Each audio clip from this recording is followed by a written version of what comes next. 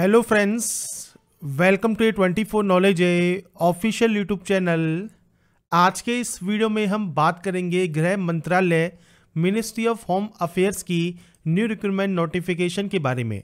तो फ्रेंड्स यहाँ पर जो ये नोटिफिकेशन है, ये फ्रेंड्स आपके जारी की गई है इंटेलिजेंस ब्यूरो मींस आईबी में, जो कि आपके A C I O grade two tech post के लिए आपकी रहेगी, जिसके लिए आप ऑनलाइन आवेदन कर सकते हैं। इस वैकेंसी या नोटिफिकेशन से रिलेटेड जानकारी आपको मिल जाएगी वीडियो डिस्क्रिप्शन में जॉबरास्ता पर, जहाँ पर जाकर आप इसकी डिटेल्स को चेकआउट कर सकते हैं। अगर आप एप्लीकेबल हैं, अगर आप एलिजिबल हैं अप्लाई करना चाहते हैं तो आप इसमें ऑनलाइन अप्लाई कर पाएँगे। बात करेंगे यहाँ पर इस वीडियो में I B ACIO tech recruitment 2023 notification के लिए और इस वीडियो को स्टार्ट करने से पहले अगर अभी तक आपने हमारे चैनल को सब्सक्राइब नहीं किया है सब्सक्राइब करें शेयर करें लाइक करें, जिससे आपको आने वाली सारी अपडेट से मिल सके। तो सबसे पहले देखिए जो नोटिफिकेशन है, ये फ्रेंड्स एम्प्लॉयमेंट न्यूज़पेपर में इनसे रोज़गार समाचार में जारी की गई है। अभी आपको जो अपडेट है, इसके ऑफिशियल जो वेबसाइट है, वहाँ पर देखने को आपको नहीं मिलता।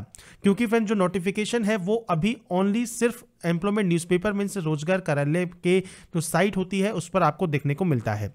अब आपको नोटिफिकेशन चेक करना है तो आप जॉब रास्ता डॉट कॉम पर जाकर चेकआउट कर सकते हैं।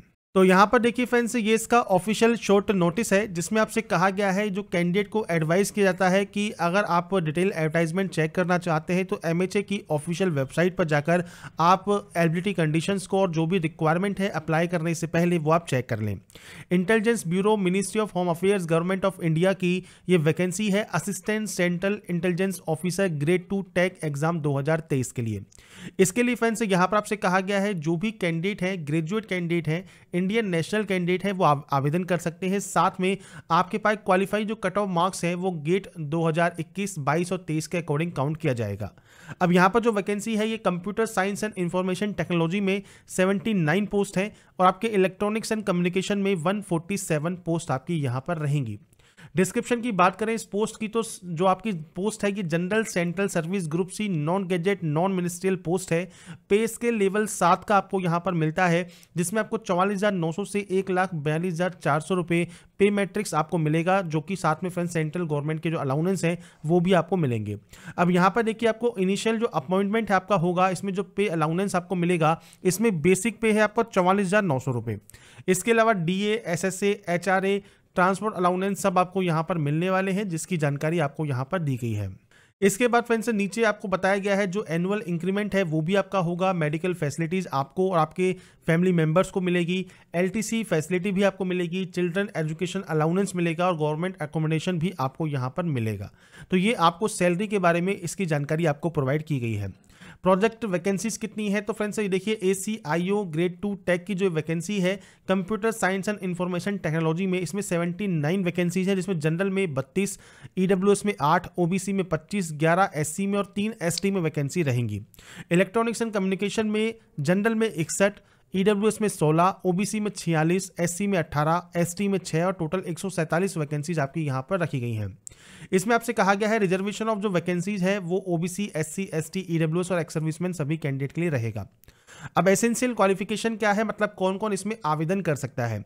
तो कैंडिडेट के पास फ्रेंड्स से क्वालिफाइंग कट ऑफ़ मार्क्स के लिए गेट 2021 या गेट 2022 या गेट 2023 ये आपका इलेक्ट्रॉनिक्स एंड कम्युनिकेशन में जो कि गेट कोड ईसी है या computer science and information technology में जिसका गेट कोड है सीएस ये आपके पास होना चाहिए। साथ में बी या बी की डिग्री आपके पास होनी चाहिए इलेक्ट्रॉनिक्स और इलेक्ट्रॉनिक्स एंड टेलीकम्युनिकेशन में या इलेक्ट्रॉनिक्स एंड कम्युनिकेशन में या इसके अलावा इलेक्ट्रिकल एंड इलेक्ट्रॉनिक्स में या आपके पास है इंफॉर्मेशन टेक्नोलॉजी या कंप्यूटर साइंस में या कंप्यूटर इंजीनियरिंग या कंप्यूटर साइंस एंड इंजीनियरिंग में तो आप इसमें आवेदन कर सकते हैं।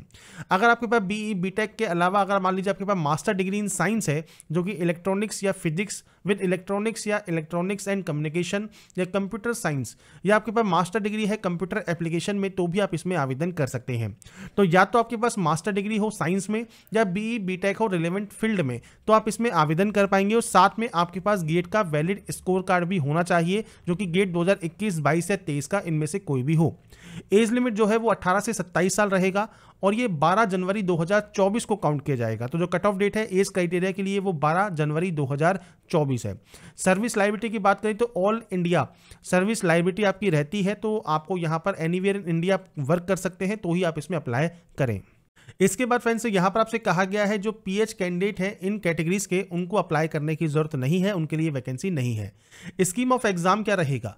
तो यहाँ पर देखिए स्कीम ऑफ़ एग्ज़ाम की बात कर लेते हैं तो friends candidate ten times the number of vacancies तो मतलब जितनी वैकेंसीज हैं उसके टेन टाइम कैंडिडेट्स को शॉर्टलिस्टेड किया जाएगा basis of GATE score card जो कि क्वालिफाइंग कट ऑफ़ मार्क्स रहेंगी 2021, 22 और 23 के उनको डायरेक्टली बुलाया जाएगा इंटरव्यू के लिए। तो गेट स्कोर है 1000 इंटरव्यू मार्क्स हैं आपके एक सौ पचहत्तर। इंटरव्यू फ्रेंड्स, जो होगा वो दो पैरामीटर्स में आपको चेक किया जाएगा subject knowledge in relevant field और आपकी कम्युनिकेशन स्किल के बेसिस पर।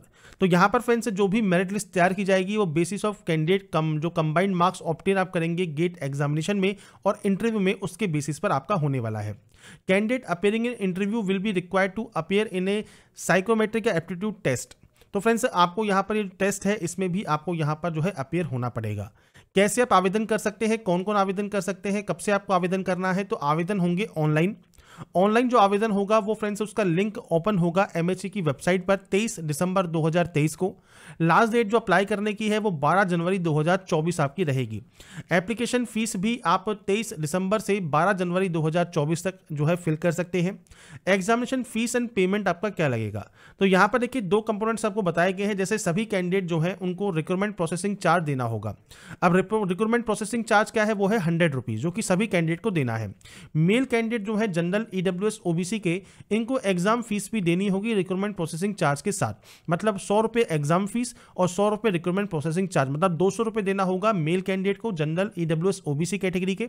और बाकी अदर कैंडिडेट जो है एस सी या एक्स सर्विसमैन या फीमेल कैंडिडेट किसी भी कैटेगरी की, उनको हंड्रेड रुपीज़ फ़ीस आपको पे करनी होगी। फ़ीस आप ऑनलाइन मोड में ही जमा करवाएँगे।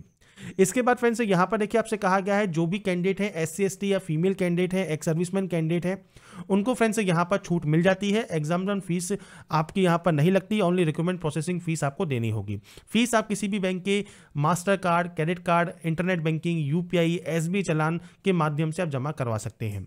इसके बाद फ्रेंड्स सेकंड पेज पर चलते हैं तो सेकंड पेज आपसे कहा गया है पेमेंट जो है एसबीआई चलान के माध्यम से भी हो सकता है। और यहाँ पर जो लास्ट डेट है, आपके फॉर्म सबमिट करने की मतलब फ़ीस सबमिट करने की वो 16 जनवरी 2024 रहेगी, अगर आप SBI चलान के माध्यम से पेमेंट करना चाहते हैं उस कंडीशन में। इसके अलावा फ़ीस एक बार पे करने के बाद आपको ये रिफंड नहीं होगी किसी भी कंडीशन में। और जो भी अदर इन्फॉर्मेशन है, डिटेल्स हैं, जैसे एलबीटी क्राइटेरिया है, रिजर्वेशन बेनिफिट है, रिलैक्सेशन है, सलेक्शन है, कैंडिडेट का स्कीम ऑफ़ एग्ज़ाम है, इसके अलावा फ्रेंड्स कैसे आप अप्लाई कर सकते हैं, सबमिशन ऑफ़ ऑनलाइन एप्लीकेशन क्या है, मोड ऑफ़ पेमेंट क्या है, ये सारी जानकारी इसकी डिटेल एडवर्टाइजमेंट में जल्दी ही आपको अवेलेबल हो जाएगी, जैसे ही इसका लिंक एक्टिवेट होगा। क्लोजिंग डेट जो है वो 12 जनवरी 2024 आपकी यहाँ पर रहेगी। तो ये नोटिफिकेशन में आपको जानकारी प्रोवाइड की गई है जो कि इसका शॉर्ट नोटिस है। तो यहाँ पर देखिए कोई भी एग्ज़ाम आपका नहीं होगा आपका सिर्फ़ ओनली इंटरव्यू होगा और उसके बेसिस पर ही आपका इसमें सिलेक्शन होगा। गेट क्वालिफाई होना ज़रूरी है 2021, 22 और 23 का जो गेट स्कोर कार्ड है वो आपके पास होना चाहिए। और बाकी की जानकारी फ्रेंड्स आप इसकी ऑफिशियल नोटिफिकेशन को खुद भी पढ़कर भी चेक कर सकते हैं। मैंने सारी जानकारी आपको जॉबरासा पर प्रोवाइड कर दी है, वहाँ पर जाकर भी आप डिटेल्स को वेरीफाई और चेक कर सकते हैं। अगर आपको हमारी ये अपडेट पसंद आई है, आप चाहते हैं ऐसे ही रेगुलर अपडेट्स आपको लगातार मिल सके तो लाइक सब्सक्राइब ज़रूर कीजिए। बाकी की जानकारी के लिए ऐसे ही बने रहिए हमारे साथ, देखते रहिए हमारा YouTube channel last things for watching